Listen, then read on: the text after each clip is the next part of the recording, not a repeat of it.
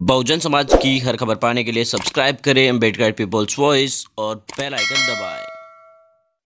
और फ्रेंड्स, मैं उत्तरायण मुरली आप देखना शुरू कर चुका है अंबेडकर पीपुल्स वॉइस। में बड़ा मामला सामने आ रहा है राजस्थान के अलवर से, जहाँ पर बाबा साहब डॉक्टर भीमराव अंबेडकर जी की मूर्ति लगाने का विवाद इतना तुल पकड़ा कि मूर्ति लगाने वाले व्यक्ति को पुलिस ने उठाकर जेल में डाल दिया। दो दिन बाद उनको जमानत मिली और अब वो रिया भी हो चुके पूरा मामला हम आपको बताएँगे अलवर के राजकीय कला महाविद्यालय की घटना है।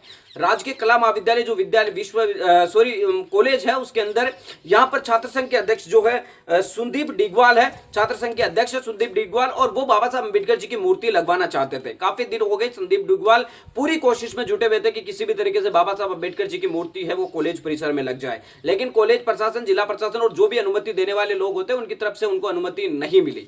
आखिर के अंदर सुदीप डिगवाल ने लॉकडाउन काल को देखा और इस समय वो छात्र संघ का उद्घाटन भी नहीं करवा पाए, यानी कार्यक्रम भी कोई नहीं करवा सकते थे। लगातार लॉकडाउन बढ़ रहा था और जैसे तैसे करके संदीप डिगवाल का अब जो कार्यकाल है, वो भी समाप्ति की ओर हो चुका है, क्योंकि जो शैक्षणिक सत्र है, वो समाप्त हो चुका है। तो संदीप डिगवाल को मन में ऐसा लगा कि कहीं अब वो बाबा साहब अंबेडकर जी की मूर्ति नहीं लगा पाएँगे। इसी को ध्यान में रखते हुए संदीप डिगवाल ने 11 तारीख 10 तारीख और 11 तारीख की मध्य रात्रि के बीच अपने साथियों के साथ कॉलेज परिसर पे पहुँचे और वहाँ पर पहले से बनी हुई जाली जहाँ पर सरकारी कोई काम रखा हुआ था, उसको वहाँ से साइड में हटाकर बाबा साहब अंबेडकर जी की मूर्ति रात में ही चौकीदारों को वहाँ से हटाकर और उनको डरा धमकाकर वहाँ पर मूर्ति स्थापित कर दी। ऐसा प्रशासन का कहना है। संदीप डिगवाल का भी यही कहना है कि प्रशासन की तरफ़ से उनको मूर्ति लगाने का जो है, मौका नहीं मिला था, इस वजह से उनको रात में मूर्ति लगानी पड़ी। दस तारीख, ग्यारह तारीख की मध्य रात्रि के अंदर यह घटनाक्रम हुआ, बारह तारीख को यह अखबार में छपे और उसके बाद मुकदमा दर्ज हुआ। संदीप डिगवाल को पुलिस ने उठाकर जेल में डाल दिया। पुलिस के द्वारा संदीप डिगवाल को करीब दो दिन जेल में रखने के बाद अब उनको जमानत मिल चुकी है।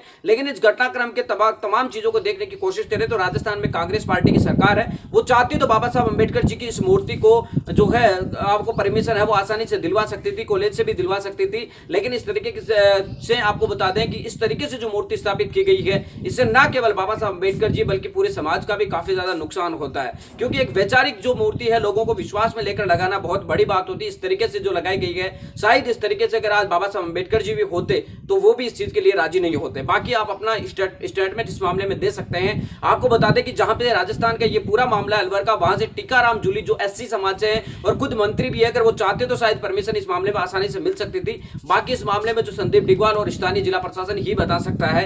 लेकिन कुल मिलाकर हम देखने की कोशिश करें तो क्या इस प्रकार से लगाई गई मूर्ति का सम्मान उस तरीके से होगा? क्या ये मूर्ति यथावत यहाँ पर लगी रह पाएगी? यानी इन तमाम चीज़ों को भी आगे देखना बहुत दिलचस्प होगा। मिलेंगे इस नए वीडियो नए अपडेटों के साथ। तब तक आपसे लेते विदा। लाइक कीजिए कमेंट कीजिए शेयर करना बिल्कुल ना भूले। अगर आपको वीडियो पसंद आया।